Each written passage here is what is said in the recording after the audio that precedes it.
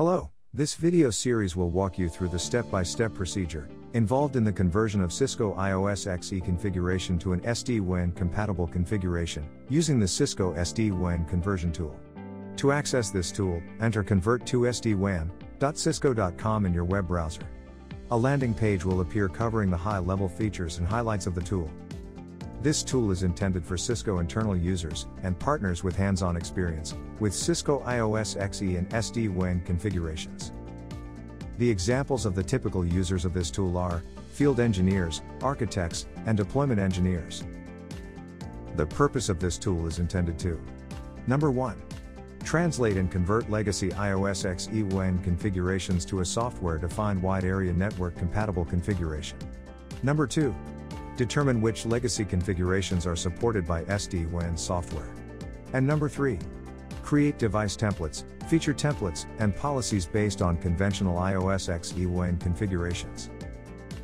Please note that this conversion tool will not fully migrate a traditional IOS configuration to a fully functional SD-WAN configuration, automate SD-WAN deployments or configure an entire SD-WAN environment for you.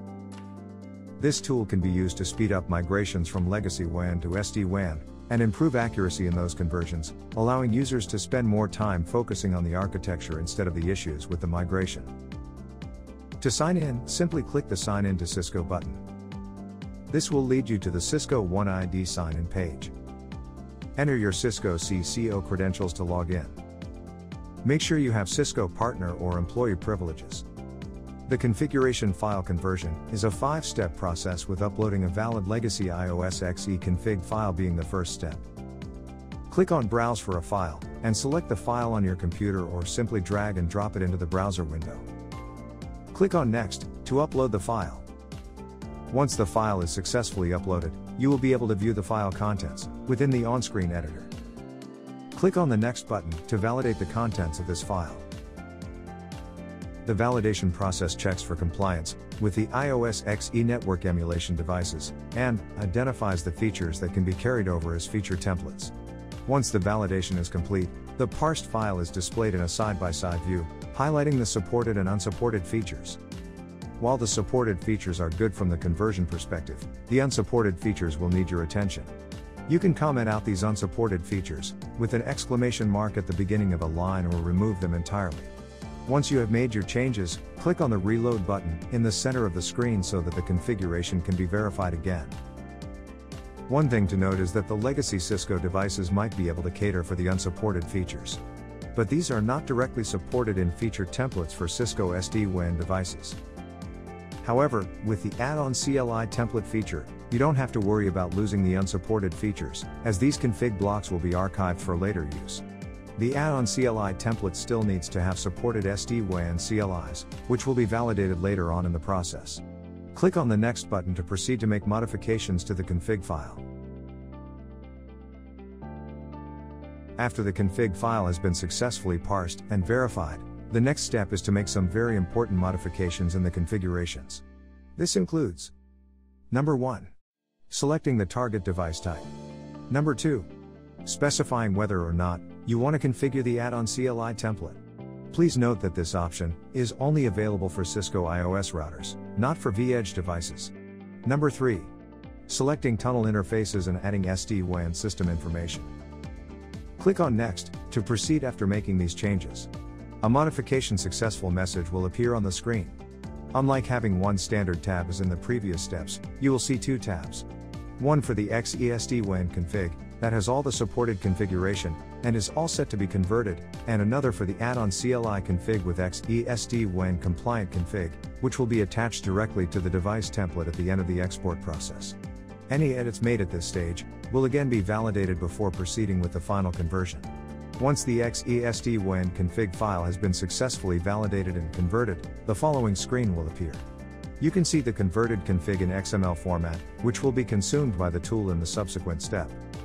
The user can also download the compatible SD-WAN file or the fully converted config file in XML formats from this view. The converted config file will be used to create the feature templates and device template in the next step. Click on the next button to proceed. The export step generates the feature templates using the converted config for the user selected vManage, and attaches these feature templates to a device template for consumption from the vManage user interface. In order to do so, specify the vManage details. Please note that this target vManage should be in a running state and accessible by the Cisco SD-WAN conversion tool. Click on the next button to initiate the export process. We see that the config file has been successfully exported to vManage. Additionally, you can also download the SD-WAN compatible configuration file and add-on CLI configuration files from this screen, if required. You can also view the converted configuration, reflected in the form of templates in the target vManage's user interface. Navigate to the vManage UI, and log into the dashboard.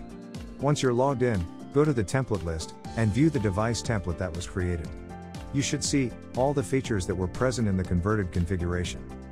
You can also view the individual features by navigating to the list of feature templates and selecting one to view more details. This marks the end of the workflow for converting an IOS XE config file to SD-WAN compatible configuration. You can click on History to view all your previous workflows and download any of the config files from any point during the conversion process. You are now ready to upload your own config file and convert it to SD-WAN compatible configuration for your migrations. If you have any queries, you can either refer to the detailed documentation for the tool, or feel free to reach out to the support team from the help menu in the toolbar. Clicking on documentation will redirect you to the tool's documentation portal. Here, you can go through the architecture guide to gain insight into how the tool performs the conversion process, or the user guide, which walks you through the various steps involved in the process. To reach out to the support team, you can click on Contact Support. The primary mode of support is through a moderated WebEx team space that you can join by clicking on the provided link. You can also email the support team by clicking on the SD-WAN conversion tool support alias. Thank you for watching.